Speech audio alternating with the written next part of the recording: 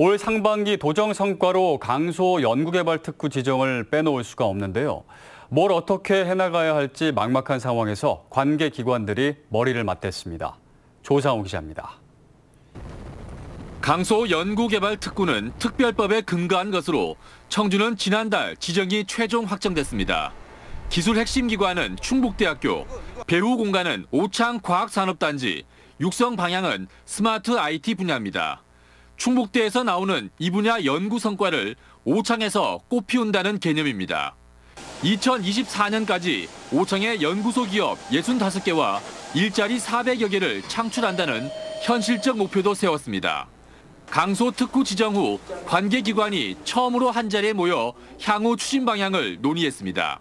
연구 성과의 확산, 지역의 일자리 창출, 경제 효과를 거두는데 저희들도 핵심 기관으로서 최대한 노력하겠습니다.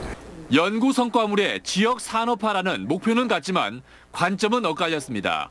중앙부처는 시장에 통할 만한 확실한 연구 성과와 이를 산업화로 연결하는 강력한 지역 역량을 주문했습니다.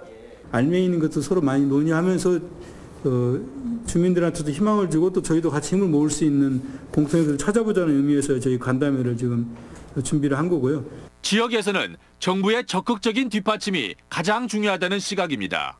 중앙정부도 의지를 가지고 제대로 지원하라. 이런 것들을 국회 차원에서도 철저히 감독함으로써 당초에 정부가 생각했던 그 취지가 우리 지역에서 구현될 수 있는 방안 확실하게 챙겨나가도록 하겠습니다.